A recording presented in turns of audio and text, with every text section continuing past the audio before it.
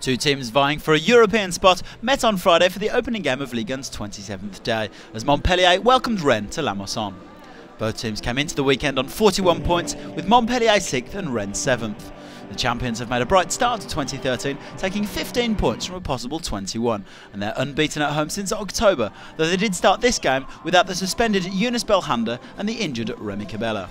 Rennes, on the other hand, were held to a draw at home by Sochaux last week and have only claimed one win in their last five Ligue 1 outings.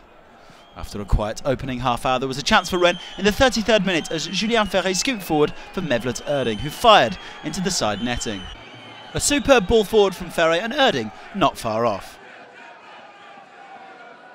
Then on the stroke of half time, Daniel Congre crossed into the Rennes area and Anthony Mounier attempted an impressive bicycle kick.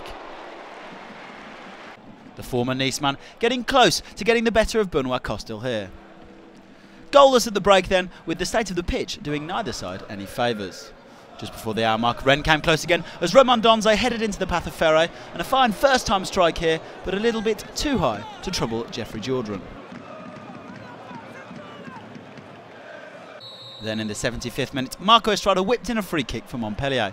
Benoit Costil could only punch as far as Jonas Martin, whose shot was blocked, but Vitorino Hilton pounced on the loose ball to make it 1-0.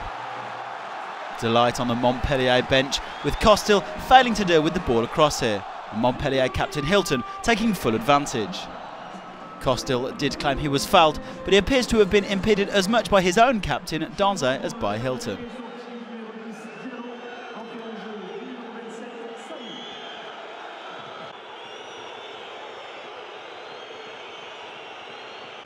Montpellier even added gloss to the scoreline with the second goal four minutes from time, and a fine one it was too.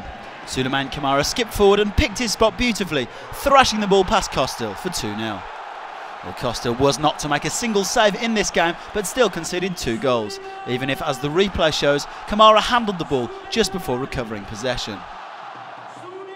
Senegalese forward nevertheless claiming his eighth goal of the season in fine style. 2 0, the final score at La Mosson.